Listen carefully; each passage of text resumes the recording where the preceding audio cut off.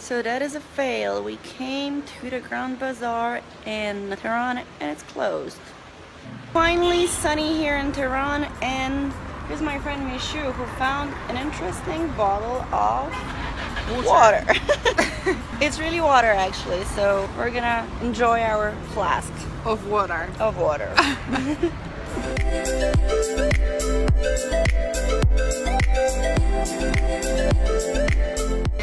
it feels as if my mouth has been coated with silicone.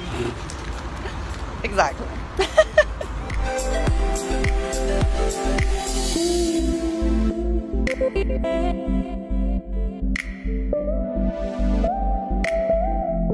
I am at Azadi Tower and there is a statue of a man taking a selfie. Best sculpture ever in Iran so far.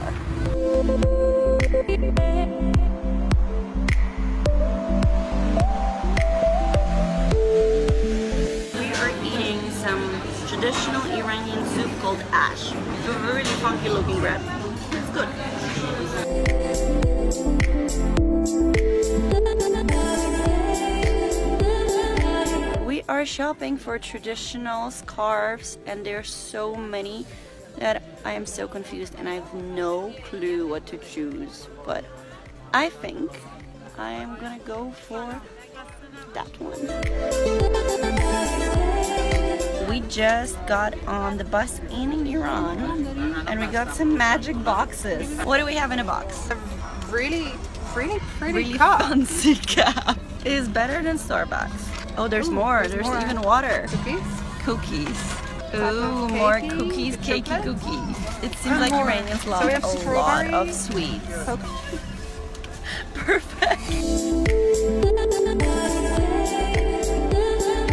So we just got to Kurdistan, to the town of Sanandaj. It's pretty different than Tehran. There are a lot of markets, street vendors, and it's pretty cool. And I got my new headscarf, so 60s style.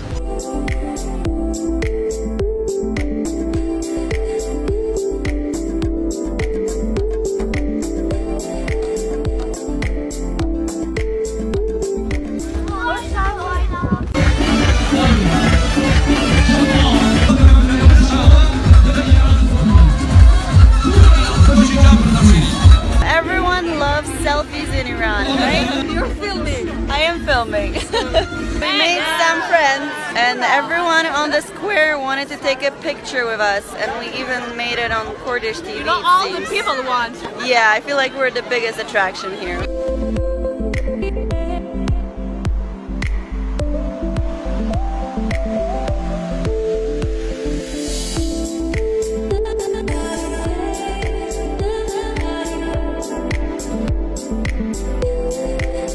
I guess I'm buying a carpet right now at a real carpet store. And they're all huge, so I can't bring it with me. I just want a small one. So we're finally eating at the traditional Iranian place this is. Got some delicious bread in here.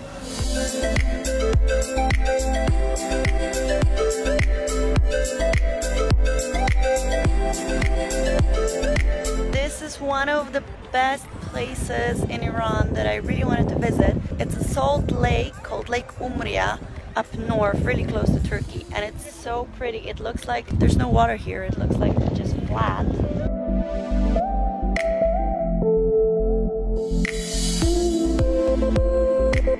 We just arrived to Kandavan, which is basically like a mini Cappadocia like in Turkey, but in Iran. And it's pretty cool, less crowded and less commercialized.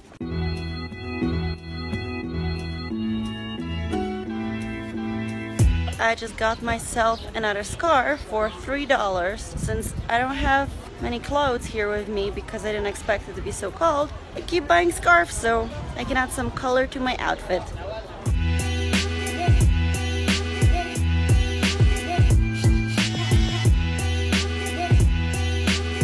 So I just arrived to Esfahan and the plus side of taking a really long night bus from Tabriz is that right now I'm at the square and there's no one here because everyone is still asleep at 8 in the morning on Friday which in Iran means that it's technically Sunday because it's the weekend. So it's pretty cool.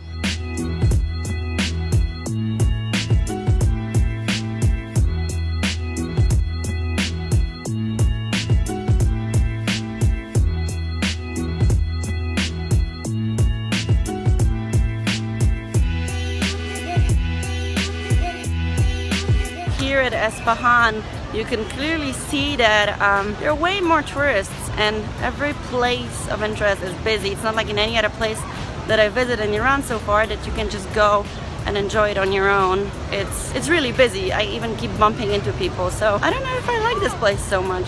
So I'm trying some saffron ice cream, apparently typical to Iran. And I gotta say it's pretty good. It tastes funny, but I would still order it again, I think.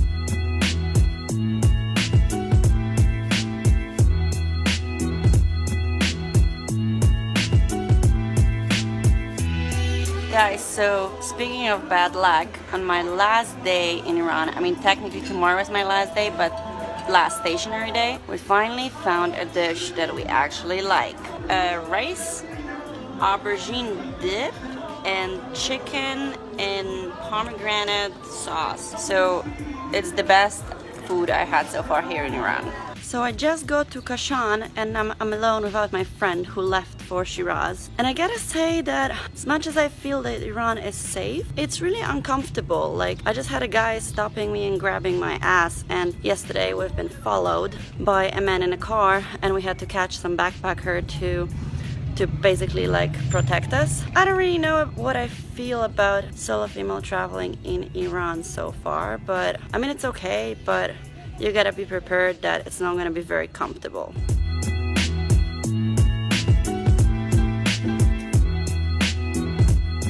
This is probably the coolest part of these baths that you can go up to the rooftop and see everything from the top and the rooftop itself is really really beautiful.